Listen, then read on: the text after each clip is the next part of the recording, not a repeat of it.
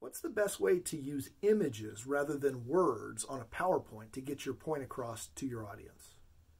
Well, the answer to that question will be found in your next daily dose of public speaking wisdom.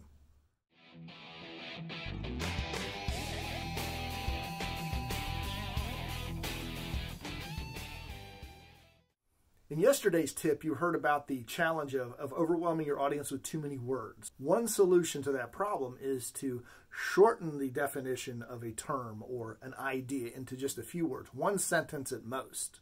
This tip is about using images instead of words. Let's go back to the term we used yesterday, systematic desensitization. I'm sure I don't need to read it to you again. I'm, I'm positive that after you saw that video, you memorized it. But just in case you didn't, here's what systematic desensitization means. It's a type of behavior therapy used to help people effectively overcome phobias and other anxiety disorders. Based on classical conditioning, it shares the same elements of cognitive behavioral therapy and applied behavior analysis. It incorporates counter-conditioning principles such as meditation and breathing.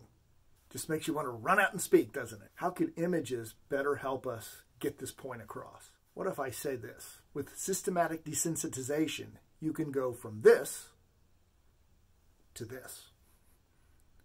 What are the feelings and emotions generated by those images?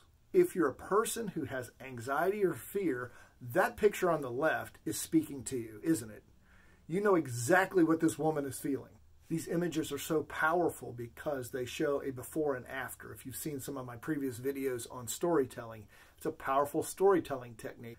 As you're putting your next presentation together, when you come across definitions or ideas, it can be a little complicated. Ask yourself this question how can I take this to its simplest form? What is the essence of what this point is?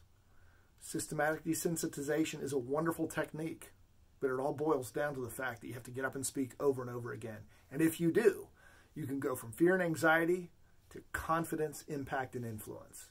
And many times, an image will sell the idea that you're trying to get across.